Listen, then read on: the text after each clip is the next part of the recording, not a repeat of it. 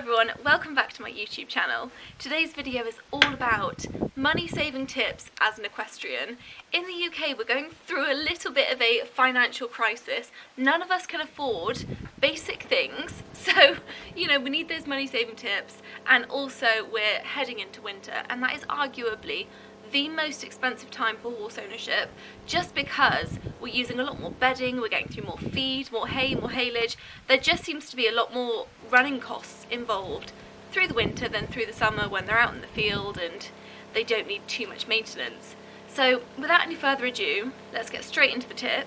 Just quickly, I would like to say that these are my opinions, they're my tips. You don't have to like them, you don't have to do any of them. I just thought I'd share with you what I'm doing to save money and if you could share with me what you're doing to save money I would very much appreciate that. One of the biggest costs that we have is our horse's bedding and for me I firmly arrived at the conclusion that wood pellets are by far the most cost effective option for me and they're my favourite thing to use because they're just so absorbent and they leave the stable so nice and clean. So I really like wood pellets. I think what's so good about them is not only do they last a really long time, but when you're mucking out, you don't take hardly any bedding with you, apart from obviously the bits that absorbed the urine.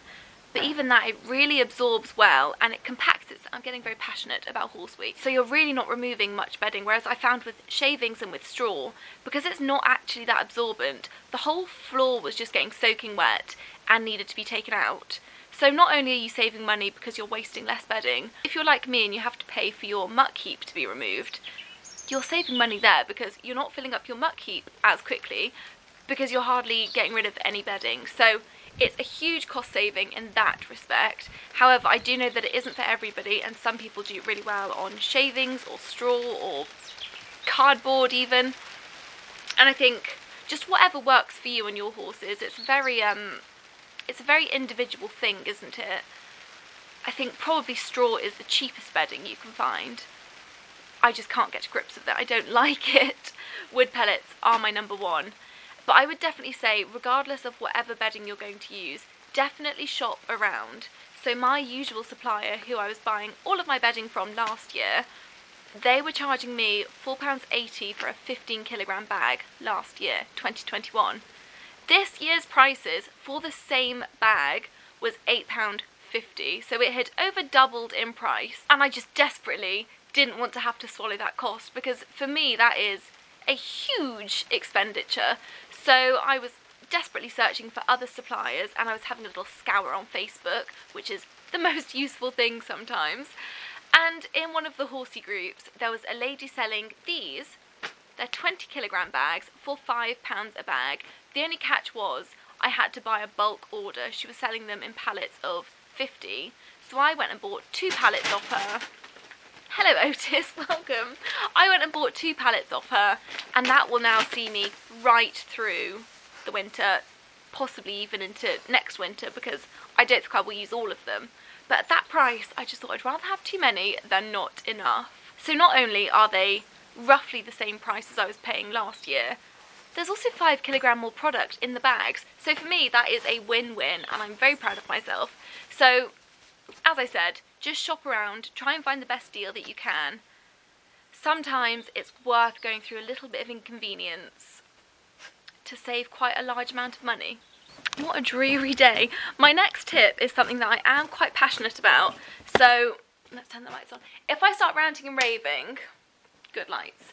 If I start ranting and raving, just forgive me.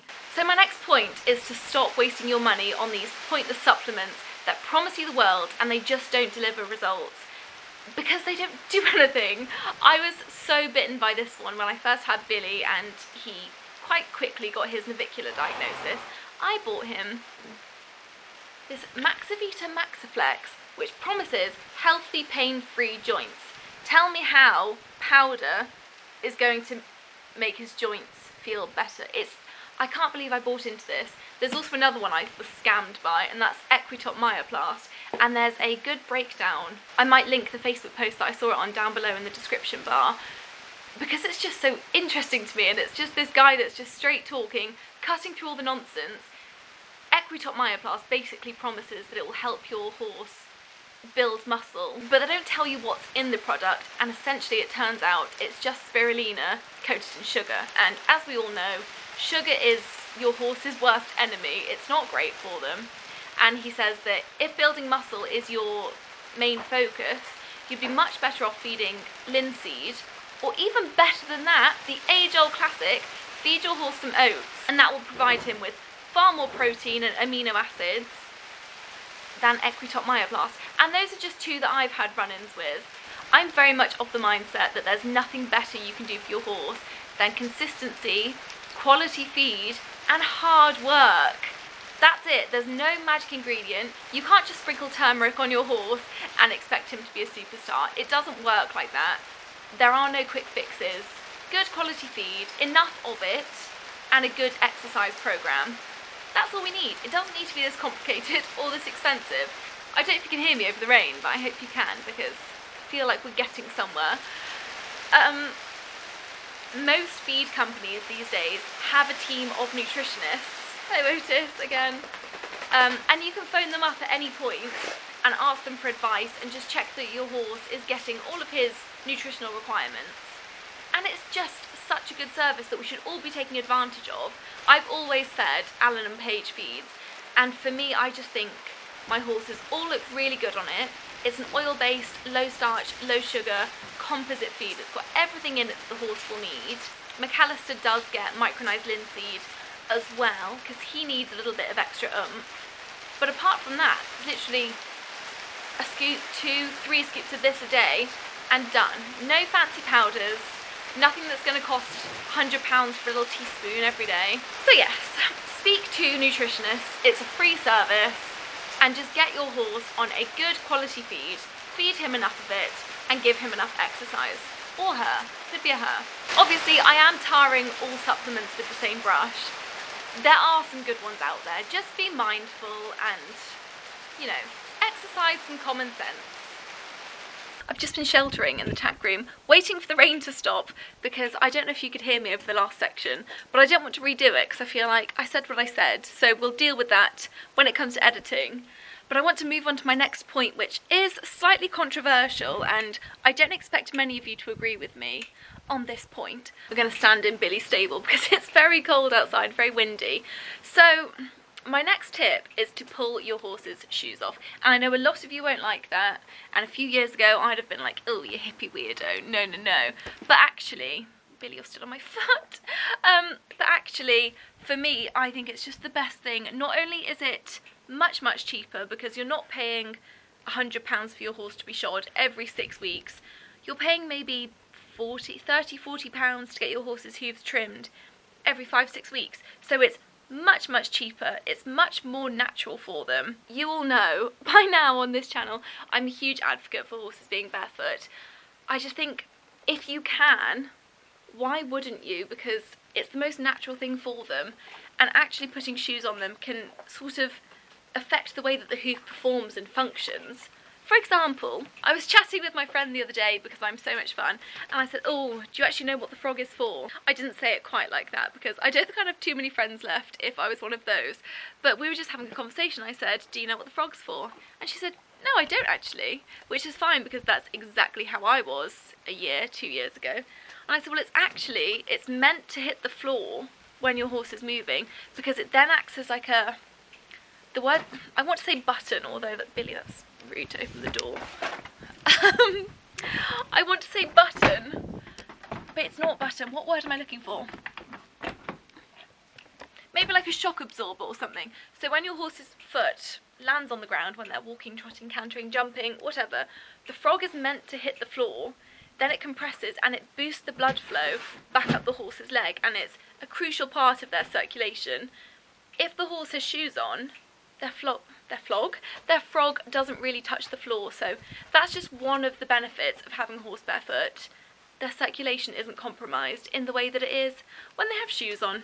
So not only is it hugely beneficial to your horse's hoof health and leg health, it's also very beneficial to your bank account. My last... Billy, can we... Billy! Yes, silly boy. My last main point um, is to... I'm going to have to leave the stable because you're not leaving me alone, Billy. So my last big point is a little bit out of the box, but it has the potential to save you so much money, and that is being confident and competent at giving your horse basic first aid. Things like bandaging a leg, poulticing a hoof, basic care of little scratches and scrapes. If you need to call a vet out every time your horse is looking a little bit lame or has a little cut on his leg, you're going to spend an awful lot of money on vet's fees and call out charges, whereas actually a lot of these things we can deal with ourselves at the yard. We just need a well-stocked first aid kit and a little bit of know-how. So if you're not confident and you don't necessarily know how to do certain first aid bits, ask people, look on YouTube, look on TikTok, it's all free, there's so much knowledge out there. Maybe next time you do have the vet out, ask them to show you. They will absolutely be more than happy to give you a little quick demo on how to bandage your leg properly or how to poultice a hoof properly there's no harm in asking and actually it's the best thing for your horse if you can do things yourself because I've had occasions in the past, not with my current vets because they are brilliant, but I've had it in the past where you phoned them up and you've asked them to come out and look at your horse because he's lame and they haven't got any appointments for two, three, four days. If you can deal with it yourself at home, either completely or just until a vet can come out and see them, it's just a win-win, you know? So, brush up on our education, stock our first aid kits very well, and that leads me nicely into my last little section, which is just little tips, easy swaps that we can make. So some really easy swaps you can make is using human products instead of horse products. Things like shampoo. There's no reason why our horses need special horse shampoo that costs like six, seven, eight pounds a tub when you can go to a supermarket and get their own brand shampoo for 50p. So human shampoo, not horse shampoo. The same goes with purple shampoo. Horse purple shampoo, why is it so expensive when you can go to the shop and get one that's designed for humans and it's a pound a bottle. So human shampoo, also using diluted Dettol as a hoof cleanser, hoof disinfectant, whereas normal hoof disinfectants are a few pounds things like Sudocrem instead of specific wound creams for horses. I think there's a lot of money that goes into marketing these special horse products at us, which tells us that horses need these really expensive, really over the top products that do these magical things. Actually, they're mammals, we're mammals.